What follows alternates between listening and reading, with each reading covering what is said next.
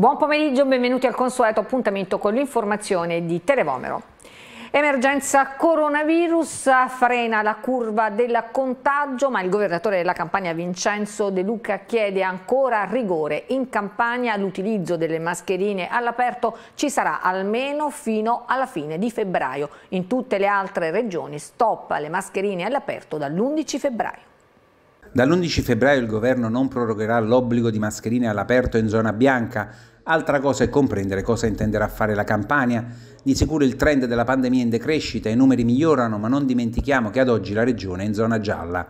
Cambiano anche le regole per le scuole. Da oggi, dalle elementari alle superiori, i vaccinati e i guariti del Covid rimarranno sempre in classe, mentre per i non vaccinati si dimezzano i giorni di didattica a distanza. Ed è proprio questa distinzione che non è gradita ai dirigenti scolastici, perché, spiega Francesco De Rosa, presidente di ANP Campania, pur comprendendo che bisogna procedere per step, noi siamo costretti a sobbarcarci un carico di lavoro aggiuntivo la nuova norma costituisce sicuramente una semplificazione, ma avremmo preferito regole ancora più semplici, aggiunge De Rosa, che ci avrebbero permesso di tenere a casa l'alunno positivo e tutti gli altri regolarmente a scuola, senza distinzioni tra vaccinati e non vaccinati. E intanto proseguono i controlli delle forze dell'ordine, 14 tra locali e attività imprenditoriali controllate come bar, locali e pizzerie, con un verbale per occupazione abusiva di suolo pubblico e inoltre 95 controlli sul fronte delle verifiche al codice della strada, con 82 verbali effettuati oltre alla rimozione di 17 veicoli con carri gru. Sono questi i dati proprio dei controlli sulla Movida effettuati dalla Polizia Municipale di Napoli sul lungomare, nelle aree di Chiaia e nel centro storico. Gli agenti hanno effettuato inoltre 133 controlli per la normativa anti-Covid su titolari e clienti delle attività imprenditoriali elevando due verbali per il mancato controllo e il possesso del Green Pass. Particolare attenzione è stata posta al contrasto dell'abusivismo nel trasporto pubblico in seguito ai servizi di controllo disposti e anche grazie alle segnalazioni delle organizzazioni sindacali dei tassisti. È stato sorpreso un abusivo che trasportava ragazzi da comuni della provincia di Napoli nei luoghi della movida cittadina. Al trasgressore, oltre alla sanzione economica, è stata ritirata la carta di circolazione del veicolo. Siamo in collegamento con il direttore generale dell'ASL Napoli 1, Ciro Verdoliva. Grazie per essere nuovamente con noi. Ben trovato, direttore. Buongiorno a tutti. Allora, direttore, insomma, questa quarta ondata sembra frenare un cauto ottimismo, c'è bisogno ancora di rigore, ma forse insomma, siamo fuori dal tunnel. Beh, il trend ci fa comprendere che il numero dei positivi sta scendendo, purtroppo abbiamo ancora eh, diversi decessi e questo ci, ci dispiace moltissimo, eh, ma ci fa ancora capire che il virus è eh, cattivo, letale, quando trova un organismo che può essere attaccato perché ha di fondo delle, delle patologie. Mentre invece sulle degenze, le nostre degenze sono ancora piene e questo appunto ci fa comprendere che la guardia non deve essere abbassata. Certamente i dati in valore assoluto scendono, la complessità eh, della necessità di ospedalizzare il paziente scende, ma io direi prudenza, prudenza, prudenza. Certo, c'è da dire che un dato scoraggiante c'è ancora troppi over 50 non vaccinati. Eh, su questo adesso dobbiamo incominciare a cambiare passo, perché adesso dall'invito passeremo ad adottare, così come eh, il decreto legge eh, ci, ehm, ci, ha disposto, i controlli, perché abbiamo invitato, sono giorni, settimane che diciamo agli over 50 venite a vaccinarvi senza prenotazione, quando volete, nei nostri centri, nelle farmacie dei medici di medicina generale, eh, però eh, abbiamo ancora circa eh, poco meno di 50.000 eh, soggetti eh, che residenti su Napoli, Capri e Anacapri che non si sono ancora sottoposti alla somministrazione. Eh, con l'Agenzia delle Entrate stiamo ehm, iniziando a, a trovare un, un, contatto perché i controlli dell'Agenzia delle Entrate e le nostre verifiche possano essere effettivamente messe in campo eh, così che eh, inizieranno anche mh, le prime contravvenzioni. Voglio anche ricordare che dal 15 febbraio eh, ci sarà l'obbligo per i lavoratori ad avere il Green Pass, quindi eh, tra qualche giorno gli over 50 saranno controllati sui posti di lavoro e non potranno eh, lavorare se non eh, muniti di Green Pass. Quindi penso che in questi prossimi giorni noi siamo pronti, eh, ma eh, ripeto, accogliamo eh, tutti coloro che volessero venire anche se in estremo ritardo, ma l'invito è sempre attivo. Certo, quello insomma vaccinatevi, eh, per questo l'ASL Napoli 1 ha ancora eh, in campo tutte diciamo, le mh, possibilità per accelerare la campagna vaccinale, quindi non regredisce ma punta comunque a velocizzare eh, quanto più possibile anche questa fase molto delicata perché insomma se veramente riusciamo a raggiungere un numero di persone elevato forse veramente siamo fuori da, questo, da questa pandemia che tanto ci ha fatto soffrire. Beh, ci ha fatto soffrire, e ci ha dato tanto dolore per i tanti morti che ci sono stati, tante preoccupazioni e anche tanti danni, eh, ma eh, noi dobbiamo assolutamente riprenderci. Io ripeto, con prudenza perché il Covid ci ha insegnato che ogni volta che abbiamo eh, abbassato un po' la guardia e eh, ritornato alla grande, siamo oggi alla quarta ondata e quindi mh, prudenza sulle azioni non farmacologiche, mascherina, eh, condizioni igieniche, lavaggio delle mani, distanziamento fisico, ma soprattutto quell'azione farmacologica, cioè il vaccino che tanto ha, ehm, ha premiato chi ha scelto questa strada. Eh, non fosse altro che anche se positivizzato ha potuto affrontare la malattia con minore preoccupazione con ehm, minori tempi di guarigione e soprattutto con zero danni eh, fisici, anche quelli successivi alla, alla negativizzazione. Certo, bisogna però guardare oltre il Covid, ritornare alla normalità anche per quanto riguarda la prevenzione e la cura delle altre patologie. Eh, dobbiamo diciamo, organizzarci in tal senso. Sì, dobbiamo organizzarci in tal senso. L'AS Napoli 1 Centro ricordo che ha due ospedali ancora dedicati solo ed esclusivamente al Covid, il Loreto Mare e il San Giovanni Bosco. Eh, dobbiamo assolutamente eh, tenere conto che quanto prima dobbiamo uscire da questa situazione, ma eh, vorrei anche eh, sottolineare che questa quarta ondata, in particolare negli ultimi 40 giorni, eh, si è caratterizzata eh, perché pazienti che hanno altre patologie hanno anche il Covid, cioè il Covid non è più la eh, preoccupazione del paziente ricoverato in ospedale, eh, la preoccupazione per altri tipi di patologie di fondo, ma il Covid ci crea il problema di avere un numero maggiore di pazienti che magari devono convivere negli stessi reparti con pazienti che invece sono negativi. E quindi questa è una delle maggiori difficoltà che noi stiamo incontrando, che stiamo affrontando, e l'avere due ospedali dedicati, uno per le degenze e le terapie intensive e San Giovanni Bosco invece per le specialistiche di ortopedia, di ostetricia ginecologia, di chirurgia generale, vascolare, neurochirurgica eh, e, e quant'altro, è importante perché ci permette di lasciare dei luoghi che non siano promiscui tra positivi e negativi. Insomma una situazione ancora complessa da gestire, ma insomma pensiamo in maniera ottimistica, chiaramente come abbiamo detto prima, con la dovuta prudenza. Grazie direttore, ci aggiorneremo Grazie nelle prossime settimane. E buona giornata a tutti. Arrivederci, buona giornata. Sequestro di tamponi e mascherine non a norma, un'operazione della Guardia di Finanza. Un maxi sequestro di mascherine FFP2, tamponi rapidi e antigenici, non a norma è avvenuto nella giornata di oggi a Barano di Ischia, in provincia di Napoli. La Guardia di Finanza è intervenuta all'interno di un grande magazzino dell'Isola Verde, scoprendo 487 confezioni di tamponi rapidi antigenici Covid e 284 mascherine che non rispettavano gli standard sanitari minimi. Dai successivi riscontri è emerso che le confezioni non avevano etichettatura o tantomeno indicazioni in lingua italiana italiana e dunque neppure informazioni ed avvertenze per i consumatori. Al termine dell'operazione il titolare del grande magazzino è stato segnalato alla Camera di Commercio per le violazioni amministrative previste dal Codice del Consumo. Si tratta di un cittadino di origine cinese di 33 anni, residente nel comune di Barano d'Ischia. Tutti i dispositivi FFP2 e i tamponi antigenici rapidi sono invece stati sequestrati dai Baschi Verdi e ritirati dal commercio. Indagini in corso per capirne l'origine e gli eventuali rischi in corsi in chi li aveva acquistati nei giorni precedenti.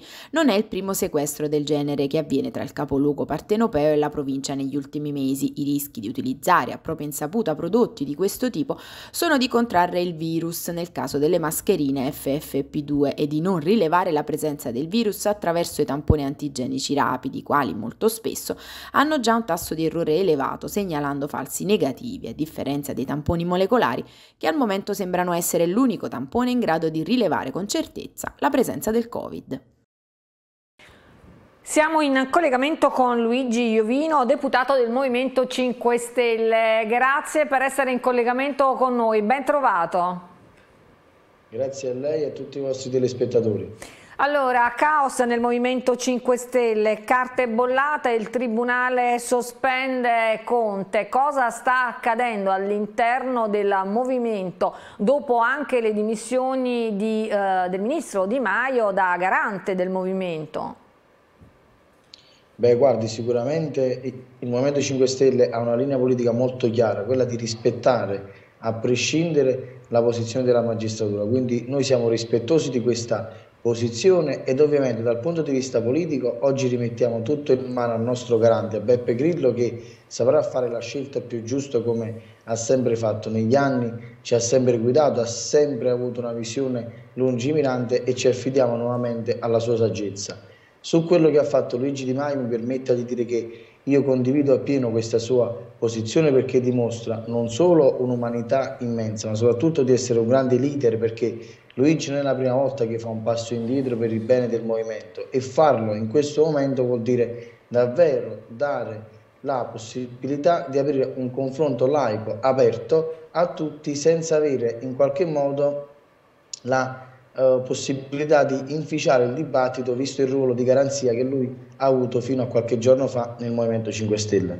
Certo, insomma il leader eh, da voi riconosciuto universalmente nel Movimento Grillo ritiene che la situazione sia abbastanza complicata, le sentenze dice si rispettano ma capisce che il momento è assolutamente critico. Si è rotto un po' il giocattolo dopo le elezioni del Presidente della Repubblica? Beh, guardi, questo sicuramente è un fulmine a ciel sereno, questa sentenza che arriva proprio durante eh, un momento molto caotico. Ci sono delle difficoltà nel dialogo che abbiamo riscontrato anche nel gruppo parlamentare e abbiamo chiesto al nostro Presidente Giuseppe Conte, a suoi vici, di poter aprire una fase di riflessione interna al Movimento per avere l'unico obiettivo che abbiamo sempre avuto, quello di ripartire più forti di prima e lavorare per il bene del Paese. Ovviamente oggi noi rispettiamo la sentenza come ho già detto, però questo non andrà ad inficiare assolutamente sull'azione politica del Movimento né su quello che i parlamentari tutti gli eletti del Movimento 5 Stelle portano avanti nelle sedi istituzionali ogni giorno. Conte dal canto suo dice la mia leadership non dipende dalle carte bollate, ha un valore politico e annuncia una nuova votazione sulle modifiche dello statuto. E anche qui c'è qualche problema, voteranno anche nuovi iscritti, come funzionerà? Insomma è un momento complesso per tutti voi, è a rischio la tenuta del governo? Guardi quello che dice Giuseppe Conte è vero, lui è il nostro Presidente perché lo abbiamo chiesto tutti e lui ha accettato questo incarico anche con un, un grande sostegno degli iscritti, quindi non è una questione politica ma giuridica. Ovviamente però non possiamo bypassare tutto ciò che è avvenuto in queste settimane e quindi ripeto va aperta una fase di riflessione all'interno della nostra forza politica e Giuseppe Conte come è stato il nostro Presidente può tranquillamente continuare ad esserlo con tutto il nostro sostegno. Noi siamo i fautori del nuovo corso e coloro che vogliono sostenerlo quanto più possibile, però alcune cose vanno migliorate e vanno riviste, ma nell'ottica sempre di aiutare questa forza politica ad incidere a livello governativo per migliorare la qualità della vita dei nostri concittadini. E quindi anche il governo io penso che non si possa parlare di instabilità o di crisi perché siamo in un momento davvero caotico con i contagi che stanno risalendo e soprattutto con i fondi del PNRR che vanno assolutamente spesi e utilizzati per non rischiare di perderli, perché il nostro Paese ha per la prima volta la possibilità, grazie a Giuseppe Conte e al Movimento 5 Stelle che li hanno ottenuti in sede di contrattazione europea, di poter incidere e sistemare tanti problemi che ha il nostro Paese. Allora, noi la salutiamo e la ringraziamo per non essersi sottratto in questo momento così difficile a nessuna delle nostre domande e naturalmente torneremo ad aggiornarci sulla situazione all'interno del Movimento 5 Stelle. Grazie, buon lavoro. Grazie a lei, alla vostra regia e a tutti i vostri telespettatori. La lotteria degli scontrini non entusiasma più di tanto i contribuenti. Assieme all'operazione cashless doveva essere, a detta del Ministero dell'Economia, una nuova grande arma di incentivo alla fedeltà fiscale, ma la lotteria degli scontrini voluta fortemente dal governo Conte 2 nel 2020 fino ad oggi è stato un emerito flop. Lo scopo principale doveva essere quello di disincentivare con più forza il nero, aiutando così le istituzioni a contrastare l'evasione fiscale, sempre meno elevata nel nostro paese e che con la pandemia poteva diventare devastante. Una lotteria a cui partecipare è molto semplice, basta utilizzare la moneta elettronica e un codice creato online. E questa lotteria mette in palio ogni settimana 15 premi da 25.000 euro ciascuno per il consumatore, 15 premi da 5.000 euro ciascuno per l'esercente, 10 premi di 100.000 euro ciascuno per il consumatore e 10 premi di 20.000 euro ciascuno per l'esercente, un premio da 5 milioni di euro per il consumatore e un premio da un milione di euro per l'esercente ogni anno. Tutto molto interessante, peccato che a Napoli e in Italia in tantissimi non hanno aderito e praticamente quasi nessun cittadino chiede all'esercente oggi, a distanza di due anni, di partecipare al gioco. In alcuni casi, come ci hanno spiegato i commercianti, dal 2002 ad oggi nei loro negozi massimo due persone hanno chiesto di giocare alla lotteria degli scontrini. E anche i numeri relativi ai premi inducono perplessità. Su 30 milioni vinti negli ultimi due anni ne sono stati reclamati soltanto la metà. Ecco perché il governo in queste ore sta pensando di cambiare le regole e rendere la lotteria istantanea, stampando un QR code su uno scontrino da cui si potrà controllare subito se si è tra i vincitori. Ma cosa ne pensano i commercianti? Ecco le loro risposte. In realtà non è ancora capitato che sia arrivato qualcuno e abbia chiesto se noi fossimo abilitati o meno è solo due persone e non è molto pubblicizzato, è, una cosa per me inutile, anche perché questa lotteria va su internet, non è che siamo tutti tecnologici. Io ho aderito immediatamente perché non c'era nulla da pagare in più oltre all'aggiornamento della, della, cassa del registratore fiscale, ma le dico che da quando è cominciato è venuta una sola persona a chiedermi, una o due massimo, a chiedermi di fare lo scontrino con il biglietto, diciamo. Secondo lei è stato un flop? Guardi, non glielo so dire, io che cosa le dico? Che il, il governo, parlo, sono di parte, ma dico che il governo dovrebbe fare altro. Noi stiamo veramente, sì, qua si parla di ripresa economica, ma a mio parere non è per nulla vero. La chirurgia estetica non conosce crisi e in pandemia aumenta il fatturato. Non bastano i filtri per i selfie e le luci soffuse per le video call, nonostante le minori occasioni sociali e le mascherine che coprono il volto e le sue imperfezioni da ormai due anni, continua a crescere la richiesta di interventi di medicina estetica. Secondo un recente studio nel 2020 soltanto negli USA sono stati spesi oltre 9 miliardi di dollari per migliorarsi attraverso la chirurgia e la medicina estetica, una cifra che stando alle stime è stata ampiamente superata poi nel 2021. I social in questi anni di pandemia hanno cambiato le nostre abitudini. Prima del Covid gli utenti si paragonavano soltanto alle grandi star, agli attori ai personaggi famosi, ma oggi la situazione è cambiata radicalmente. Tutto questo tempo trascorso sui social o più in generale davanti ad uno schermo, magari fissando per lunghe ore la propria immagine durante lo smart working, ha reso le persone, uomini e donne, più consapevoli o forse semplicemente più spaventate dei propri difetti e li ha spinti quindi a chiedere l'intervento mirato per iniziare un processo di rimodellamento del viso e del corpo.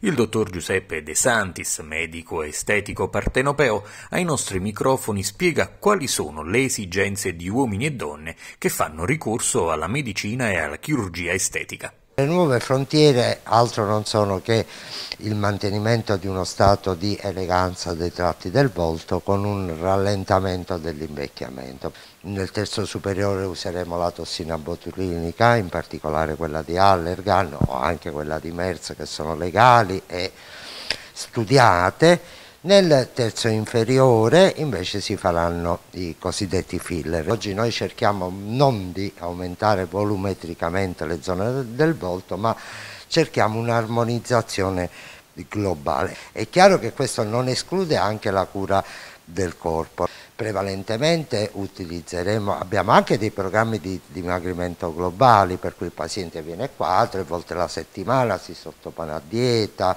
movimento fisico attraverso ciclette e a trattamento laser terapico, è un pochettino come andare in palestra però in sicurezza e in un ambiente ristretto, una persona alla volta in presenza del medico.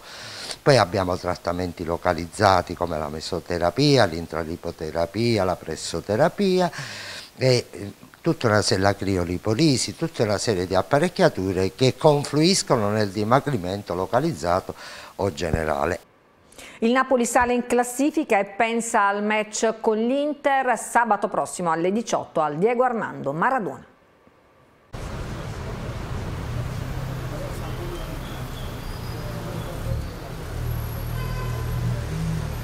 È lunga ma si aspetta quello che si deve aspettare. Per il Napoli tutto. Tornata la febbre per il Napoli? No, c'è sempre stata, sono sempre andata. Sognare secondo me non costa nulla, a questo punto se ci siamo proviamoci. Dipende da se si fanno tre punti domini. Prima sognare non costa nulla. Penso che questo mese sarà decisivo, vedremo dopo questo mese possiamo capire se possiamo sognare.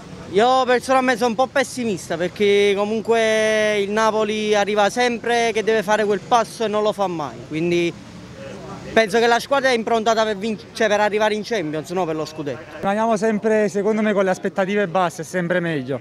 Meglio non farci troppe aspettative perché si può rimanere delusi, quindi bisogna restare concentrati sull'obiettivo, cercare di vincere contro l'Inter e andare avanti a testa bassa. A me mi ha casato un sacco, non sognare si deve sempre per questa squadra. Io ho realizzato che siamo a un punto, non ci credevo, ero convinto che lo scudetto fosse andato, ma siamo qua, sognare si deve sempre. Ma si sogna sempre, è dal nostro DNA sognare. Mi sta piacendo molto uh, in primis, anche se ieri non è partito titolare Elmas, che sta dimostrando una grande costanza quando gioca e spero tanto nel grande ritorno di Victor Osimen che ieri si è sbloccato finalmente e deve continuare così. Nella squadra Lobotka mi ha sorpreso un sacco, Fabiano è criticato ma a me mi piace, Di Lorenzo è un fatica, fatica come un, un, sacco sulla fascia, corre come un animale, è un grande. Vabbè, i miei sono Ruiz e Mertens, Mertens per sempre e Ruiz vabbè...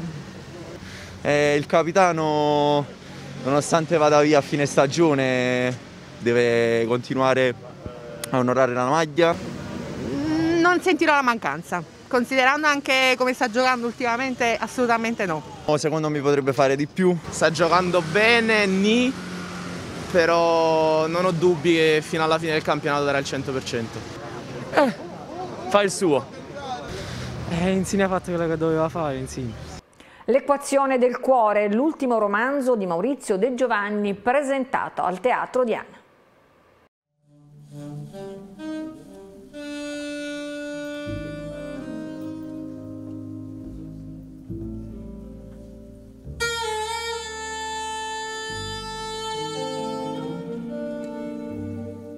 Si intitola L'equazione del cuore, il nuovo libro di Maurizio De Giovanni presentato al Teatro Diana di Napoli, ultimo romanzo per lo scrittore napoletano, un libro che avrebbe voluto scrivere da sempre, in cui confluiscono felicemente tutte le sue macchine narrative e dove trovano una sorta di maturo compimento. De Giovanni racconta di Massimo, un professore di matematica in pensione che dopo la morte della moglie vive da solo in una casa isolata a Procida, va solo a pesca e scambia rare telefonate con la figlia Cristina che sta in una una città del nord. Improvvisamente lo avvisano che la figlia e il genero sono morti e il loro figlio piccolo in coma. Dopo il funerale vorrebbe tornare nella sua isola, ma i medici lo vogliono accanto al nipotino e lui, controvoglia, gli fa compagnia raccontandogli a suo modo la sua matematica e la fascinosa armonia dei numeri. Intanto, fuori dall'ospedale si sente addosso gli occhi della piccola città, dove lo indicano come potenziale erede di un'impresa in cui lavorano in tanti. È un libro che parla di un personaggio tormentato e meravigliosamente umano, messo dinanzi al mistero del cuore. È un romanzo diverso dagli altri, e ci è voluto coraggio eh, perché eh, era una necessità scriverlo, ma è anche un romanzo molto diverso da ogni altro mio, quindi eh, sono contento di averlo scritto. Se non mi diverto io non si diverte nemmeno chi mi legge, quindi mi devo divertire, mi devo appassionare, mi devo emozionare, devo commuovermi, devo provare compassione. Finché lo faccio c'è qualche possibilità di trasferirlo sulla pagina. Io scrivo perché sono napoletano è, è la mia causa, è la mia necessità. Non avrei mai raccontato niente se non fossi stato di qui. Sul palco del Diana le letture di Sergio Castellitto e le musiche di Marco Zurzolo, accompagnato da Carlo Fimiani alla chitarra e Marco De Tilla al contrabbasso. Io sono molto felice di leggere le pagine di questo libro di Maurizio perché eh, in questo libro lui è riuscito a, a raggiungere una bellissima sapienza fra la sua capacità di raccontare trame, storie, eh, plot eh, piuttosto che suspense e così via, insieme a una, dire, un'indagine psicologica ehm, e anche romantica per certi versi eh, che è sorprendente rispetto a quello che ti potresti aspettare soltanto per il fatto di raccontare, un, un, di, di, svelare un segreto. Ecco. Io mi auguro che un giorno mi danno pure la cittadinanza perché ogni tanto ci vengo e ci vengo sempre volentieri perché è una città che dire, è sempre generosa con me. Se volete interagire con la nostra redazione potete farlo scrivendo al numero WhatsApp di Televomero 339 46 28 565. Un servizio. ANM sarà partner di Procida Capitale Italiana della Cultura 2022. La partnership culturale è stata ufficializzata nella stazione municipio della linea 1 della metropolitana con la sottoscrizione formale di un accordo, grazie al quale l'azienda Mobilità sosterrà la promozione dell'evento con una serie di iniziative, tra cui percorsi guidati di visita tra le stazioni dell'arte Toledo e Municipio. Segno riconoscibile della partnership è la campagna di comunicazione Idee in Movimento, insieme per una nuova idea di cultura, claim che riassume obiettivi e valori condivisi con Procida Capitale Italiana della Cultura 2022 diffusa su tutti i canali istituzionali, statici e digitali delle stazioni metro, funicolari e a bordo dei mezzi di superficie. All'evento internazionale ANM ha inoltre dedicato un milione di ticket di viaggio Special Edition già in vendita e mappe tascabili del sistema di trasporto integrato regionale.